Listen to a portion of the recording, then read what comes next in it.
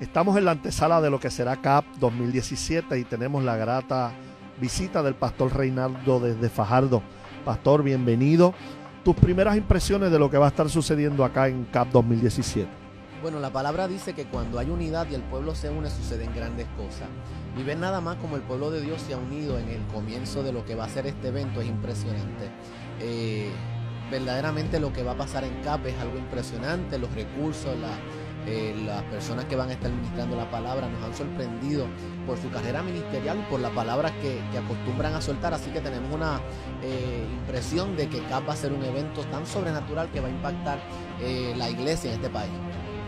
a toda esa gente que nos está viendo a través de CTN Internacional, que todavía no se han decidido en ser parte de CAP 2017, ¿qué tienes que decirle?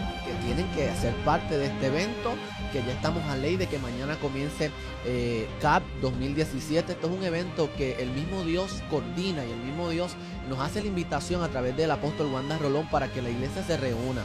La Biblia dice que en Hechos capítulo 2 fue Jesucristo quien hizo la invitación y por medio de esa invitación ellos recibieron el cumplimiento de una promesa.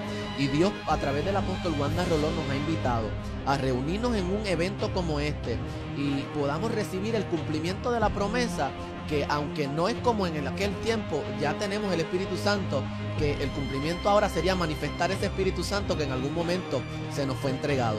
Así que yo invito a todos los que nos están viendo a que puedan ser parte. Yo sé que grandes cosas Dios tiene y hay una silla esperando por ti. Así que ven a la senda antigua y sé parte de CAP 2017. Gracias, Pastor Reinaldo, por, por esas expresiones. Así que mantente conectado a CTN Internacional y a lo que será CAP 2017. Bendiciones.